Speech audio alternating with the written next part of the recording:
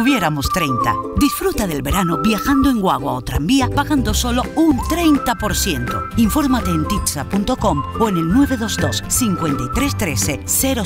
Ayuntamiento de Santa Cruz y Cabildo de Tenerife. Arrugadas, fritas, en puré, con carne, en tortilla, rellenas, con mojo o un pescadito, rotas, de la abuela o de autor. Te gusten como te gusten, papas de Tenerife, Cabildo de Tenerife. Nuestros mayores y personas dependientes se merecen la mejor atención y cuidado. Por este motivo, Cruz Roja ofrece el servicio de teleasistencia domiciliaria. Con solo pulsar un botón podrán comunicarse con el centro de asistencia que atiende cualquier emergencia las 24 horas del día, los 365 días del año, proporcionando una mayor tranquilidad y autonomía a los usuarios y a sus familiares. Infórmate ya, teléfono 922 20 56 85 o acércate a la sede de Cruz Roja más cercana. Ahora más que nunca, con nuestras personas mayores. ICODEN Daute Radio, FM 91.4.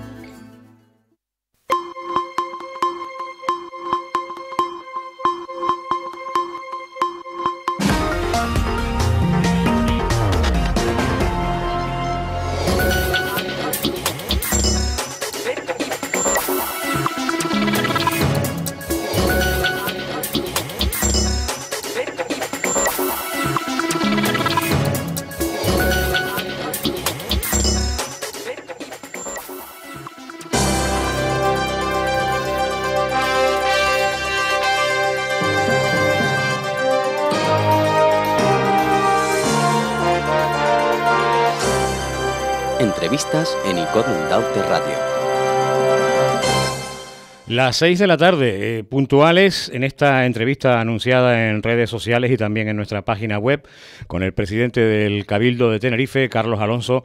Presidente, buenas tardes. ¿Qué tal? Muy buenas tardes, Narciso. Y bienvenido de nuevo a esta casa que estuviste por aquí eh, por estas fechas eh, del año pasado, también finales de junio. Me lo estabas diciendo antes y no me lo creía. Yo pensaba que hacía mucho menos. La verdad que el tiempo pasa volando. Pues sí, aquí estamos. Tiene el presidente 30 minutos que los queremos aprovechar eh, porque tiene otro compromiso en el que a las seis y media se nos tiene que marchar, con lo cual son muchas las preguntas, pero de, de entrada, presidente, lógicamente eh, yo creo que toca porque en este mes de junio se cumple el ecuador del mandato, de este mandato, y sería bueno poder escuchar un balance de, de este mandato en el Cabildo, de este ecuador de mandato que comenzaba en junio de 2015.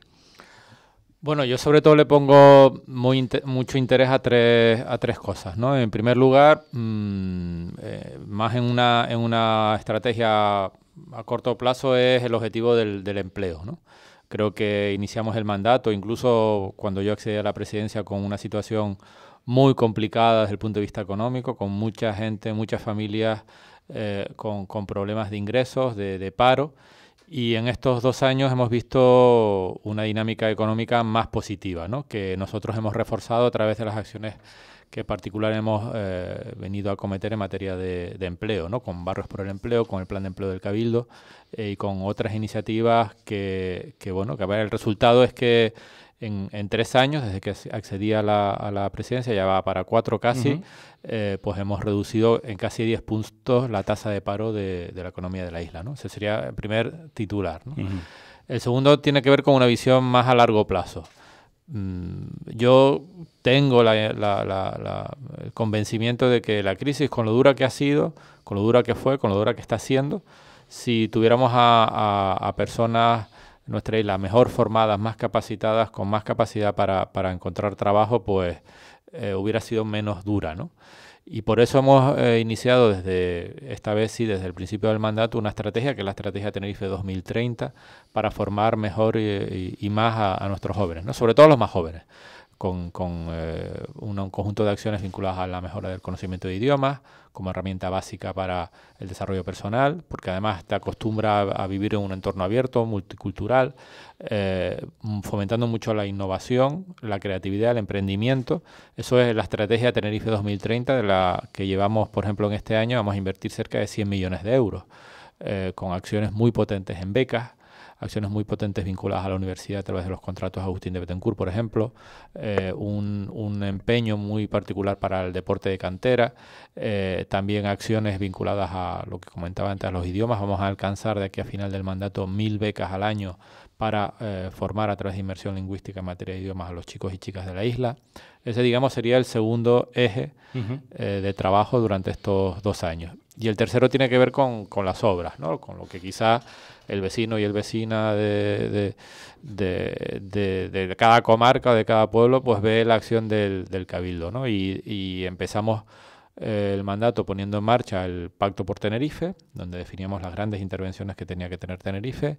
Después hemos llegado a un acuerdo con el Gobierno de Canarias para dotarlo de fondos eh, para poderlo hacer posible. Eh, hemos ya definido con los ayuntamientos las actuaciones a través del marco estratégico de desarrollo de inversiones y ya este primer año, el año 2017, es el primer año en donde ya estamos acometiendo un número importante de inversiones en muchos ámbitos. Tenemos 36 programas distintos de inversión en materia de agua, en materia de conectividad, en materia de carreteras, en materia de medio ambiente, en materia de eh, sociosanitaria, es decir, en muchos ámbitos que ya están eh, notándose en la economía porque eh, también eso está vinculado al primer objetivo, que era el del empleo. La dinámica de inversión del Cabildo está ayudando a crear empleo, a crear actividad económica. Y bueno, uno va por ahí y lo que ve cuando ve un asfaltado, ve un, una mejora de una vía, cuando ve eh, una mejora de una plaza. Desde cualquier actuación siempre tiene el sello del Cabildo en esta isla, ¿no? Y ese, digamos, es el, tercer titular que yo destacaría. Eh, presidente, el, por hablar de temas comarcales eh, y como el tiempo apremia, eh, y es actualidad también eh, el tema de la depuradora comarcal de la zona de las canteras en Buenavista. Eh, unas obras que se anunciaban hace meses en Garachico, en la Casa de Piedra, una inversión de 14 millones de euros, creo que de fondos provenientes corrígeme si me equivoco, del FEDECAN. eh, bueno, del Cabildo con, con, eh, soportado también por el Fondo de Desarrollo de Canarias. Exacto. Bueno, el caso es que ha pasado lo que ha pasado, que ya conoce perfectamente el presidente, obviamente, y muchos oyentes. Y la pregunta sobre este tema, porque además ahora, mm, bueno, hablaba el otro día el alcalde de Garachico en medios que eh, ha gestionado y ha conseguido una inversión de un millón y medio de euros para solucionar el problema de la depuradora de, la caleta, que es un problema de hace muchos años que se había quedado ahí pendiente para también afrontarlo con esa depuradora comarcal. Y la pregunta, porque aquí entrevistábamos al presidente de la plataforma vecinal de los Hilos Isla Baja, a un concejal de Si se puede, que en el pleno de Buenavista, bueno, sabes que fue la- el grupo político que presentó la moción, etcétera. Luego al alcalde de Garachico, al de los Hilos, también a la alcaldesa de Buenavista, hablando de este tema. Y a todos les, les hacía la misma pregunta. ¿Por qué no se informó desde el Consejo Insular de Aguas directamente a la ciudadanía, en especial a los vecinos de la zona de las canteras en Buenavista, antes de anunciar el- proyecto de, de ejecu- de ejecución ya de las obras que se anunciaba en Garachico? ¿Se hubiera a lo mejor evitado este malentendido o esta... Bueno, vamos a ver. El, el Consejo Insular de Aguas trabaja con una estructura muy planificada. No, no, esa rueda de prensa que se dio no fue una improvisación eh, que hiciéramos porque ese día se nos ocurrió hacer una depuradora en, en las canteras. ¿no? Viene derivado de un proceso muy largo de planificación en donde ha habido consulta pública, donde ha habido información, donde se ha hablado con todos los ayuntamientos eh, desde hace ya muchos años. Sí, el plan hidrológico, alegaciones. Efectivamente, cuando mm, tardamos tanto en elaborar un plan como es el plan hidrológico, que además es un plan sectorial y territorial, quiere decir que ese plan no solo tiene que ver con la ordenación de las aguas, sino también de las infraestructuras que están vinculadas a las aguas. Eso es un, pro- un- un proceso larguísimo. De hecho, estamos, entre comillas, amenazados por la Unión Europea porque vamos con retraso. Porque los procesos se alargan muchísimo con consultas, con información, donde intervienen los ayuntamientos. Y en, nadie dijo nada. La, la cuestión es, ¿por qué el Consejo Insular no dijo nada? Es que nadie dijo nada con anterioridad. Y eso está planificado en el plan desde hace ya tiempo. De hecho, la gente de Si Se Puede cogobernaba en el periodo anterior en, en Buenavista. Sí, sí. No presentó una sola alegación. Tú me dices, no, el vecino a lo mejor no se entera. Es razonable que no se entere. Pero el ayuntamiento, los mismos que hoy protestan por montar el lío, que son los de Si Se Puede, gobernaban hace tres años. El mismo alcalde que eh, está, eh, ex alcalde que está montando el lío en Buenavista, gobernaba en el mandato anterior. Y tenía la posibilidad de enterarse y presentar alegaciones. Y yo he hablado con él muchas veces del tema del agua en la comarca, para hacer mejoras, por ejemplo, con la utilización de la desaladora del campo de golf, con la mejora de la calidad de agua de Buen- Buenavista. Hemos hablado muchísimas. Y nunca dijo que no a ese tema, nunca puso ninguna alegación, ningún problema. Ahora, cuando la obra se va a ejecutar, cuando se va a solucionar el problema, en vez de eh, plantear las alternativas cuando se están discutiendo, lo que hacen es, cuando ven que el problema se soluciona, poner pegas a que solucionemos el problema. Esa es simple y llanamente mi visión del asunto. Es intentar que algo que va a solucionar un problema grave ambiental, eh, porque después, por otro lado, tienen la táctica de impedir que el problema se solucione y después ir a denunciar al juzgado por delito ambiental. Utilizan las dos eh, varas de medir. Y yo la verdad que con este tipo de comportamientos, la verdad que intento ser bastante estricto y la obra se va a hacer. Se va a hacer, la primera fase, la que tiene que ver con la conducción de las aguas desde Garachico hacia, hacia los hilos, en los términos en que se pactó con el Ayuntamiento de los hilos, es decir, ejecutar la obra para mejorar eh, la, eh, el tratamiento que se hace en, en, en, Garachico y de esa manera ya eliminar el problema ambiental en la fase actual. Y después eh, la depuradora. La depuradora, lo que hemos dicho es vamos a estudiar qué tecnología es la más adecuada. Hay tres alternativas. Una tecnología tradicional, tradicional con eh, encapsulamiento de la depuradora, y una tercera que es el filtro llamado filtro verde, como lo quieras llamar, una, eh, una depuración, eh, digamos, ecológica. ¿no? se van a ver todas las alternativas ¿no? y se va a ver qué posibles emplazamientos pueden utilizarse de manera alternativa. Pero la depuradora y el sistema comarcal se van a hacer porque es la mejor solución, es la más eficiente desde el punto de vista energético y de mantenimiento de, la, del, problema que tiene la isla baja, como tiene mucha parte de, la isla, de depuración de agua. Eh, lo que ocurre es que el, Pleno de Buenavista, eh, al tomar el acuerdo que tomó, y ustedes también desde el grupo de gobierno eh, convocaban una rueda de prensa justo, justo el día en que sí se puede también presentaba en el Pleno del Cabildo una moción al respecto. En esa rueda de prensa, eh, el Cabildo decidió estudiar nuevas opciones de depuración en la isla baja, en la isla baja bajo el criterio del Consejo Insular de Agua. Eso no frena el que se pueda. No, no. Nosotros, como digo, vamos a ejecutar la obra que estaba prevista en este periodo, que era eh, obra que ya está adjudicada y que se va a iniciar la, su ejecución, que es la canalización de las aguas para reforzar el sistema comarcal.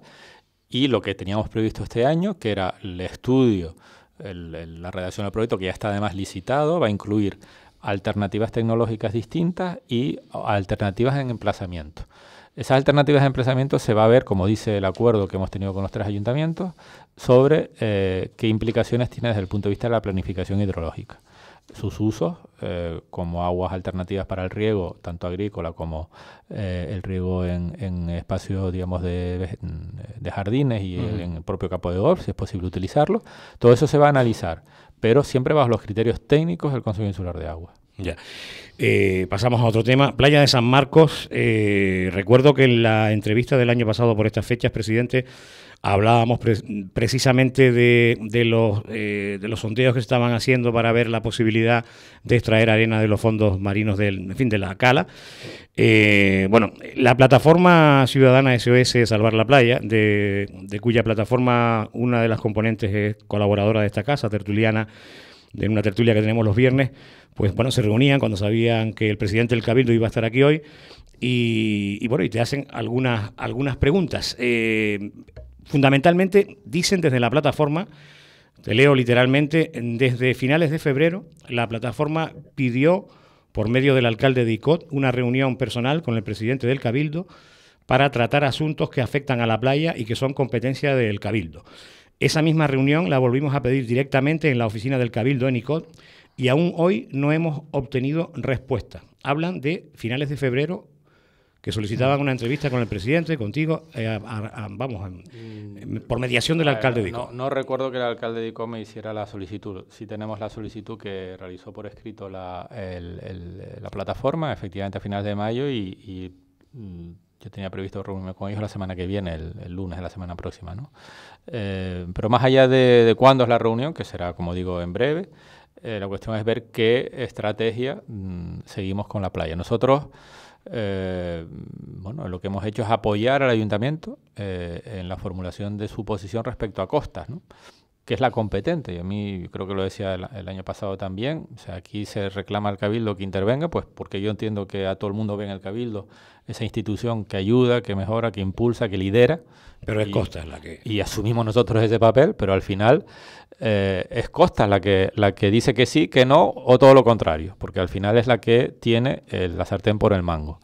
Nosotros podemos ayudar y lo que hacemos normalmente es hacer estudios técnicos, reunirnos con costas, buscar una u otra alternativa, porque tenemos capacidad técnica y liderazgo político para hacerlo. De hecho, es lo que hemos hecho en estos meses, eh, ayudando al Ayuntamiento de Dico con los estudios técnicos que hacen posible ver qué alternativas hay de solución. ¿no? Eh, además, también hemos hecho algunas pequeñas mejoras puntuales el, año pasado en, la playa, muy pequeñitas, eh, que, que, desentan aquello algo, pero luego no es la solución definitiva. ¿no? Nos reuniremos con la plataforma y con el ayuntamiento, veremos cuál es la solución que, que podemos pactar, pero al final la solución la va a tener que dar costas. Eh, porque es el competente, ¿no? El Cabildo está empujando muchísimo, empuja a ENA, empuja a la, comunidad autónoma, empuja a mucha gente para que haga las cosas y en este caso el que la tiene que hacer es Costa. Eh, hay una serie de preguntas que ellos hacen, pero como el tiempo apremia, eh, simplemente te voy a dar la información después para que en esa reunión también te pueda servir. tenemos la reunión, podemos hablar con ellos largo y tendido y ya te dirán ellos y el propio alcalde qué, solución hemos ah, eh, Plantean varios puntos aquí que no los vamos a tratar ahora, pero sí hay uno que hablan también desde la plataforma, que es la obra del emisario de la playa, que está terminada, me señalan pero no entregada por parte del Cabildo. Y, y, ellos preguntan desde la plataforma cuándo se va a entregar para que se conecten a este emisario los vecinos de, la playa?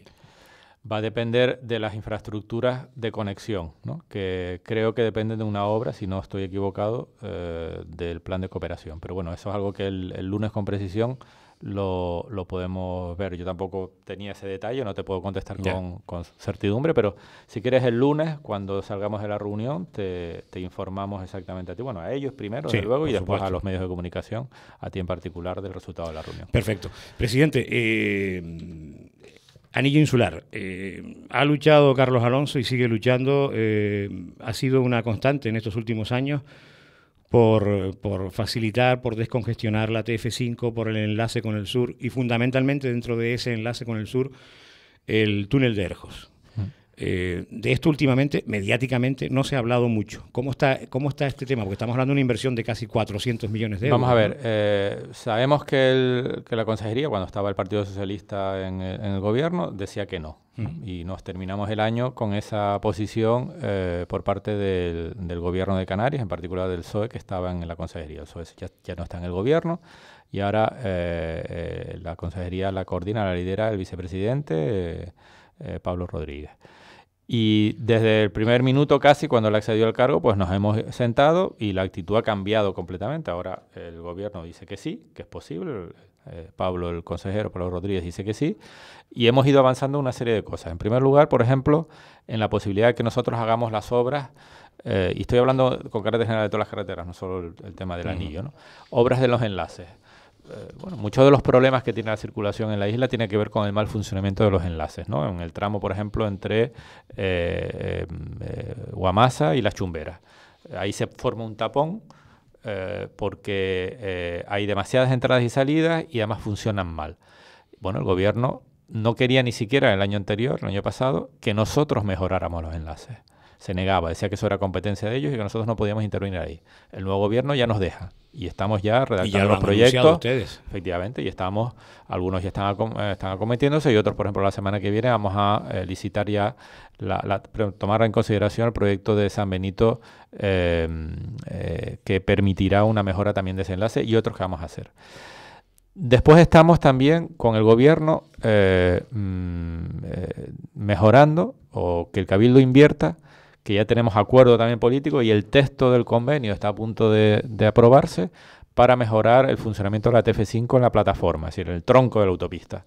¿Qué actuaciones van ahí? Pues son eh, un tercer carril desde eh, el campo de golf hasta los rodeos, en la autopista del norte, con lo cual ampliaríamos la capacidad de la autopista tres o cuatro kilómetros más de tercer carril. Sobre todo cuando llegan los coches desde aquí, desde el norte, que se embocan ahí. Y después también en el tramo entre eh, Buen Paso y San Juan de la Rambla, aumentar el número de carriles de vehículos lentos. ¿no? Que cuando uno sale mm, de, mm. de, y va hacia, por ejemplo, hacia Santa Cruz, pues si te coges un camión delante o una guagua, pues al final estás perdido. Pues eso se va a mejorar. Ya tenemos acuerdo con, la Consejería de Obras Públicas sobre ese asunto y está en trámite el convenio que va a permitir que el Cabildo ejecute esas obras. Eso también es una mejora respecto al año pasado, porque el año pasado nos decían no enlaces, no mejores la autopista. Y el tercer aspecto tiene que ver con el cierre del anillo. Entonces ahí nos hemos ofrecido a que el Cabildo pague esa obra porque pensamos que aunque venga dinero del Estado a través del convenio, y va a venir porque se está cerrando la negociación, el conjunto de obras que el Cabildo y el Gobierno tienen que hacer, o que el Gobierno tiene que hacer en Tenerife, para mejorar las infraestructuras viarias es muy importante. Estamos hablando, cierre del anillo insular, 300 millones de euros, el túnel de Erjo, más eh, casi 100 que tiene que ver con el cierre por este lado, dedicó a los realejos, que también hay que actuar ahí para eh, darle una mayor capacidad a la vía. Son casi 100 millones de euros.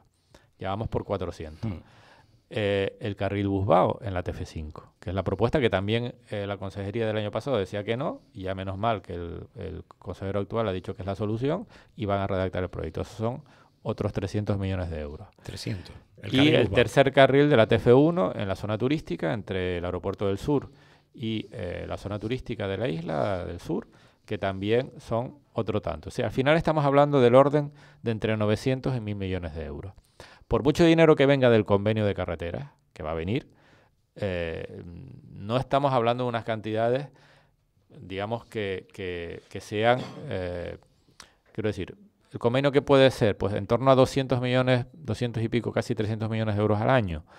En los próximos cinco años serían entre 1.000 y 1.200 millones de euros. 2 por 5, 10, sí. Claro, entonces, eh, ¿qué le pedimos? Que ese convenio venga íntegro para Tenerife no lo van a permitir. Nadie lo va a permitir, ¿no? Y no, me parece tampoco, por mucho que las necesidades... No sería razonable. Bueno, pues si nosotros queremos solucionar los problemas de la carretera de Tenerife en los próximos cinco años y no demorarlo para los siguientes, tenemos que poner todos nuestro afán.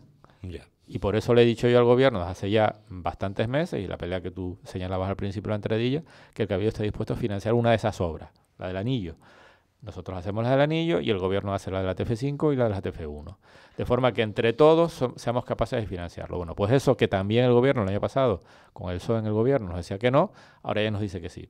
Y una vez que tengamos el convenio de la TF5, que estamos eh, terminando de cerrar desde el punto de vista jurídico, iremos con el convenio del, del anillo y yo espero irme de vacaciones con el convenio del anillo cerrado y firmado. Presidente, tenemos varias preguntas más, nos quedan unos 10 minutitos largos. Eh, quería preguntarte también sobre la regulación, el acceso a Punta de Teno, un nuevo proceso de participación ciudadana que se anunció cuando concluyó el anterior y también se ha hablado, lo ha dicho la propia consejera Corillanes eh, y la propia alcaldesa de Buenavista, de un proceso de participación ciudadana para el caserío de Masca. Pero eh, antes de eso me gustaría preguntarte por el centro de visitantes del Parque del Drago de Ico de los Vinos. Oficialmente, que yo sepa, hasta donde yo sé, está la obra concluida. Pero el caso es que mm, se abría, ah, em, se realizaba una jornada de puertas abiertas por el Día Mundial del Turismo el año pasado, eh, de determinadas horas por la mañana. Eh, bueno, el caso es que si está concluida la obra, ¿por qué no se abre? Mm. Bueno, vamos a ver, eh, respecto al proceso de participación, nosotros pensamos que los espacios naturales tienen un gran valor ecológico, desde luego, y eh, tienen una capacidad de carga. ¿Qué significa eso? Pues que, al final no podemos invadirlos, eh, y menos invadirlos de coches, mm. porque el equilibrio ecológico de esa zona eh, queda alterado. Y lo estamos viendo más que todos los días, ¿no? La presión que hay para bajar al barranco, con el riesgo que tiene, y todo el lío que se monta, que es el que se montaba en fines de semana y veranos en Teno. Nosotros hemos propuesto una regulación que además cambiamos, no es que fuéramos con nuestra idea fija y no le hiciéramos caso al proceso participativo, nosotros íbamos con una idea y esa idea se fue modulando gracias al propio proceso. efectivamente. Y al final terminó eh, saliendo adelante. Es curioso cómo eh, los de sí se puede, por ejemplo, se opusieron a, la regulación, a lo que estamos poniendo en el ayuntamiento y hay que ver lo que digan en el cabildo. Porque al final en el cabildo, ¿qué van a decir? Que no quieren coches y que, y que quieren guaguas. Es que, es que, bueno, la incoherencia de alguna gente a veces, ¿no? Bueno, en resumida, yo creo que eso ha funcionado. Eh, el proceso participativo fue muy bien llevado por, por Coromoto, la consejera de participación, y ahora vamos a iniciar efectivamente uno cuando terminemos los estudios de base, porque un proceso participativo tienes que llevar no una propuesta fija, pero tienes que dar unas ideas técnicas, unas propuestas para que la gente discuta, no vas a ir al, allí al aire, ¿no? Tienes que ir con una serie de ideas para que la gente discuta, debata. Y, sobre la base del primer proceso, claro. Y sobre la base del primer proceso. Y ya lo iniciaremos, espero que antes de que termine este año, porque los estudios están, eh, estudios de base, tanto del área de carreteras, de seguridad, del propio medio ambiente, para que el proceso de participación se pueda empezar con esos informes previos antes de que termine el año. Eh, respecto al, eh, al Drago, el centro de visitantes, efectivamente la obra civil está terminada pero falta una serie de remates y el equipamiento que lo, digamos, lo acomode y permita abrirlo. Y ahí estamos en una reflexión con el Ayuntamiento de ICO, que ya empezó hace unos meses y que, bueno, de hecho yo tengo previsto dentro de, pocas semanas eh, acercarme otra vez a ICO, en este caso ir a, la boca de la, de la Cueva del Viento y seguir debatiendo con, con el Ayuntamiento, reflexionando con el Ayuntamiento, porque pensamos que eh, el conjunto tiene que funcionar como un todo. Parque del Drago, Cueva del Viento. Cueva del Viento y Finca Boquín. Y Finca de Boquín. Ahí tenemos tres enclaves. Que es un potencial impresionante. Tres enclaves que muy, muy potentes que, sea, que son eh, el parque hmm. de, de, ICO, con un potencial turístico importante y eso vinculado a la generación de actividad económica, comercial, que bueno, eh, impulsa el desarrollo económico de ICO. ¿no?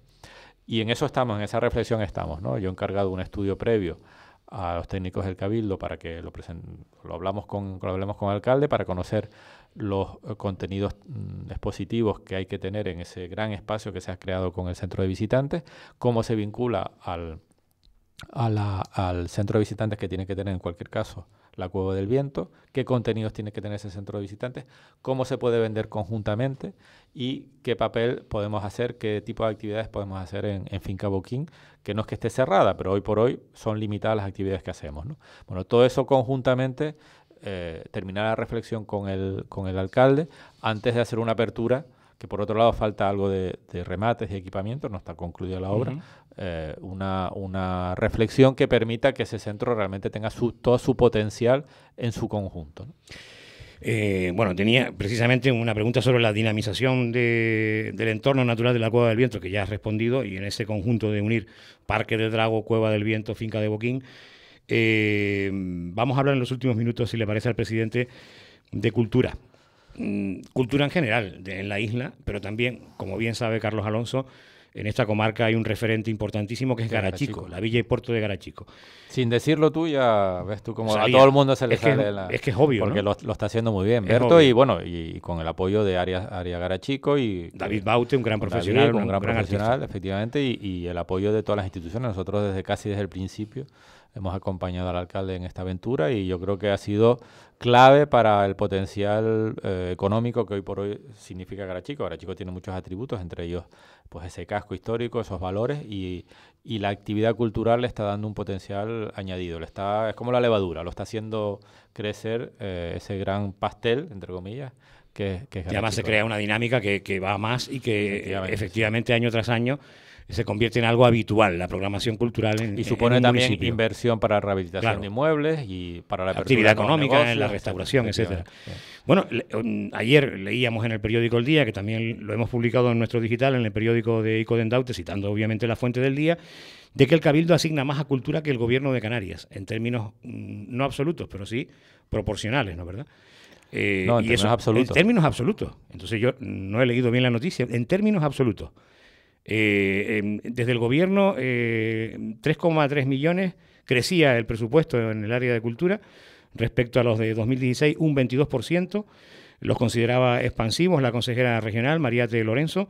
Y en el, y en el Cabildo, eh, el crecimiento, em, bueno, pues habla de, de unas cuentas en materia de políticas culturales en el Cabildo en 26 millones de euros se contabilizan una cantidad, presidente, que supone el 3,21%. Los datos yo no lo he verificado, pero los datos que da el día son 26 millones de euros por parte del Cabildo y el gobierno 18,7. Ah, en términos absolutos, es que me parecía tan desproporcionado, digo, será en términos hemos, relativos. hemos presentado otra, otro formato que es Festival Tenerife, que este año lo vamos a concentrar en el área metropolitana eh, para aglutinar, coordinar e impulsar las actividades culturales eh, que tenemos en, Santa Cruz de la Laguna. ¿no? Hemos presentado mapas hace varios, varios días, que es un mercado de arte cultural, de, artes performativas, teatro, danza, circo, eh, música, que tiene escala internacional y que va a ser un, un mercado muy potente para la programación y la oferta eh, artística, eh, no solo de Tenerife y de Canarias,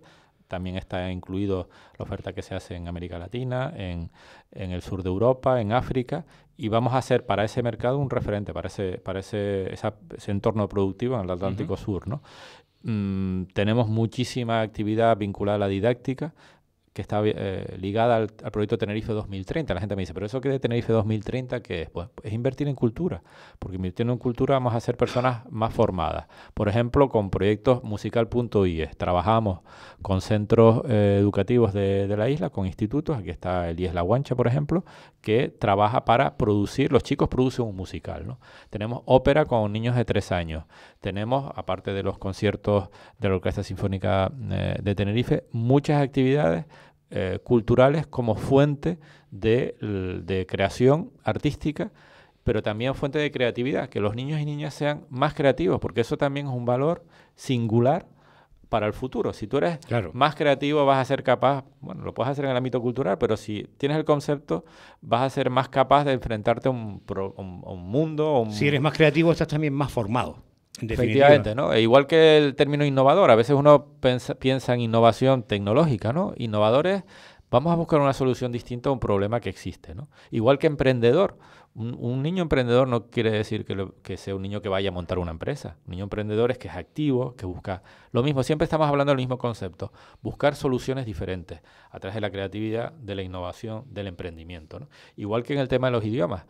Mm, probablemente dentro de 15 años nos pongan un chip y todos sepamos inglés, francés y alemán, porque la tecnología va suficientemente rápido como para soñar en eso. Pero mm, nosotros lo que queremos no solo saber bien idiomas, que los niños sepan bien idiomas, sino que estén acostumbrados a, trabajar y a vivir en un entorno cultural abierto, con una experiencia distinta. Por eso eh, privilegiamos dentro de la actividad de mejora del fomento, mejora del conocimiento de los idiomas, la inmersión lingüística, ¿no? que lleva a los niños de secundaria, por ejemplo, estar tres meses en un instituto, en el extranjero, en una familia, conociendo un entorno distinto, una cultura distinta, y eso los va a hacer niños, entre comillas, especiales. Queremos que Tenerife esté lleno de niños especiales para que en el futuro hagan esta isla especial porque se enfrente de una manera distinta a los mundos eh, del futuro. Y crisis va a haber con la que, con la que hemos pasado. Pero si estamos mejor preparados para responder... La podremos afrontar mejor. Esa es, la, esa es la clave de Tenerife 2030. Eh, resumiendo, eh, ahora sí tengo delante bien las, las cifras y para no perdernos en ellas, 3,21 es lo que destina el Cabildo sobre un global de 809 millones de presupuesto. Esos 26 millones... Del 3% del presupuesto. Y el gobierno de Canarias 0,25%. Y otro dato que también me ha llamado mucho la atención, en positivo hacia el Cabildo Tinerfeño que tú presides, el Cabildo Gran Canario un 0,99%, tan solo 7 millones de euros sobre un presupuesto para cultura, sobre un presupuesto de 700 Es que, bueno, vamos a ver, el Gobierno de Canarias tiene una estructura de gasto diferente que la del Cabildo y por eso quizás la comparación no es pertinente en términos porcentuales. ¿Por qué? Porque el Gobierno tiene dos grandes o tres grandes políticas una compartido con nosotros, que es la de asuntos sociales. Ahí estamos a pachas, digamos, es una responsabilidad de Cabildo y Gobierno y también en menor medida ayuntamientos. Pero tienen dos grandes políticas que son educación y sanidad, que consumen mucha parte del gasto y que tienen mucha capítulo 1, muchas nóminas. Y por eso no es no justo comparar esas cifras, ¿no? Eh, pero nosotros animamos a que... Pero con el Cabildo de Gran Canaria, sí. Con el Cabildo de Gran Canaria, sí. Y animamos al Gobierno de Canarias. De hecho, yo tuve ya una, una reunión con la consejera de, de, Cultura la semana pasada para que aumenten el presupuesto en materia de educación y cultura ya lo está haciendo en educación. El programa que Fernando está impulsando de inmersión y de educación lingüística es muy buena noticia porque eh, entre todos vamos a conseguir superar este, esta brecha de conocimiento de idiomas. No solo lo puede hacer el Cabildo, no solo lo puede hacer el gobierno, tiene, tenemos que ir conjuntamente. Potenciar las escuelas oficiales de idiomas también en, las comarcas. esa línea de trabajo tiene que el gobierno desarrollarla, la, está haciendo de manera eh, importante. Y en cultura también creo que, que lo debe hacer. Y más, permíteme que lo diga, un gobierno nacionalista. Gobierno nacionalista tiene que creer en la cultura como base de la identidad. No se trata de excluir a nadie, pero sí se trata de formar una identidad como pueblo y eso, el primer elemento es la cultura, la creatividad propia. Una última cuestión que me decía un tertuliano, no dejes de hacérsela por favor al presidente, eh, tiene que ver con política, eh, de pactos. Eh, se está negociando ahora mismo, se ha abierto ya una mesa de negociación, Coalición Canaria Partido Popular, con la posibilidad de que entre el PP en el gobierno de Canarias. Y en algún medio de comunicación me decía este tertuliano que el presidente del Cabildo había reflexionado sobre que en lugar de un pacto de coalición canaria con el Partido Popular en el gobierno, mejor serían acuerdos puntuales parlamentarios. Vamos a ver, yo, creo que el gobierno necesita, eh, bueno, los canarios necesitamos que haya una, eh, un acuerdo eh, respecto a los objetivos de final de, mandato. Ya nos quedan dos años de legislatura y tenemos que tener claro qué queremos hacer en sanidad, qué queremos hacer en educación, en, en, los servicios esenciales, a dónde queremos ir. ¿no? Está la ley de servicios sociales, por ejemplo, o, o las leyes de presupuesto que son importantes para el futuro de, de la isla, ¿no? de las islas. Y hay que tener un acuerdo y, aparentemente con el Partido Popular es posible llegar a un acuerdo en esos, esos puntos, eh, igual que hemos llegado en Madrid. Nosotros hemos eh, impuesto en Madrid una agenda canaria que está teniendo resultados porque sobre la base de esa agenda se está apoyando el gobierno del PP. Eh, sobre la base de, con Nueva Canarias. efectivamente, los nacionalistas canarios estamos mm. marcándole la agenda a los, a los, al Partido Popular con un debate presupuestario, con, uno, con, un con el, estatuto, con el tema del REF, con una serie de temas que están dentro de la agenda canaria, con los convenios de obras, etcétera. Bueno, esos son los objetivos que yo creo que también en Canarias hay que poner en, línea con el PP. ¿Entrar o no entrar en el gobierno? Yo creo que eh, el gobierno está lanzado, ya eh, hay, se está haciendo la gestión que se debe hacer. Estamos a, mitad de mandando donde la mayor parte de los, de, digamos, de, de los proyectos están en marcha romper esa dinámica es como si a mitad de carrera cambias de jinete. Pues probablemente pierdas la carrera. Hay un relevo y en el relevo se pierde tiempo, ¿quieres decir? Sí, porque al final empiezas, estás un mes negociando el pacto, mm, a lo largo del verano va a haber cambios. Cambios de responsables políticos, de personal de confianza. Hasta, el jefe, hasta nombran, hasta, hasta, cambian al jefe de prensa sí, de cada consejería. Sí. ahí lo cambian a todos. Y claro, yo creo que eso rompe la dinámica de trabajo que se está haciendo, sobre todo en aquellas consejerías que se cambiaron a final del año pasado, ¿no? Y que, bueno, que supuso una, una dinámica distinta, yo creo que favorable, porque, por ejemplo, el tema de carreteras, si hubiéramos seguido igual con el PSOE, pues no, no hubiéramos terminado, terminado nunca. Ahora, con Coalición Canaria en, el, en, la, en la Consejería de Obras Públicas, las cosas están avanzando muy rápido. Entonces, volver a cambiar es volver otra vez a, bueno, con lo que digo, en mitad de la carrera cambiar el jinete. Y aunque el caballo sepa a dónde va, ¿eh? Pierde ritmo. Pierde ritmo y, y, pierdes la carrera, ¿no? Y no estamos nosotros los canarios para estar perdiendo carrera. Pues no. Eh, te hemos robado cinco minutos más de lo previsto. Eh, el, cura, el, cura, del Palmar me lo Sí, sí, sí. Hay algunas preguntas que se nos quedan fuera, pero sí que me gustaría, si te parece, y lo hacemos coincidir con, con la agenda a través de tu responsable de prensa, de Marta, etcétera, el que en noviembre aproximadamente pudieras de nuevo estar con nosotros y, robarte otros 30, 35 minutos para hablar de cosas de la comarca. De todas formas, si te parece, la semana que viene, cuando salgamos de la reunión con la plataforma, eh, nos ponemos en comunicación y, y hablamos un ratito Del, tema también. Perfecto. Muchísimas gracias, presidente Carlos Alonso. Gracias a ti, de verdad. Bueno, pues despedimos esta entrevista con Carlos Alonso, presidente del Cabildo de Tenerife. Una entrevista que será mañana redifusionada en nuestro matinal Noroeste 7 sobre las once y media de la mañana. Sean felices.